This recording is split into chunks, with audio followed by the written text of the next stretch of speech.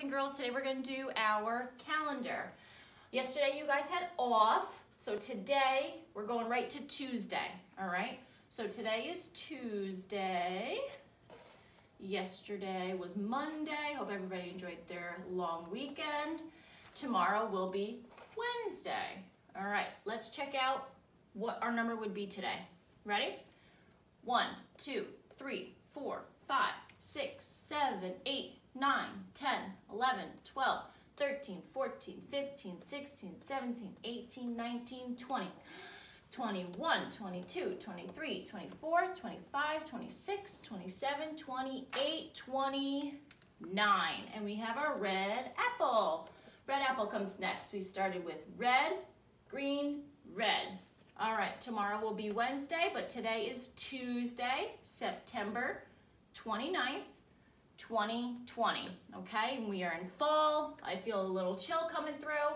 This week, what you guys are going to be doing is you're gonna be seeing videos on how to make our new letter. Our new letter is B.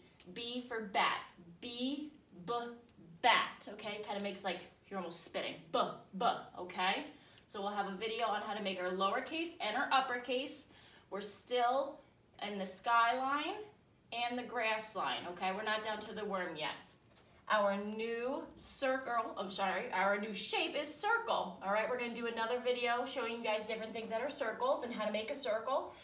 Unlike our shape last week, circle has no corners, no straights, no anything like that, just one big curve.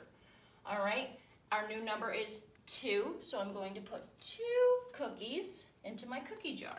One, two. Now how I make a number two, it's a little silly, but I like it. It helps me remember. Because it has a curve, this curve reminds me of a candy cane. So I give it a candy cane, and then I give it a foot.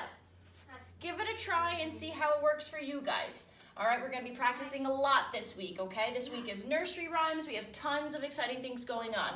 Hope you have a great day, and I will see you later.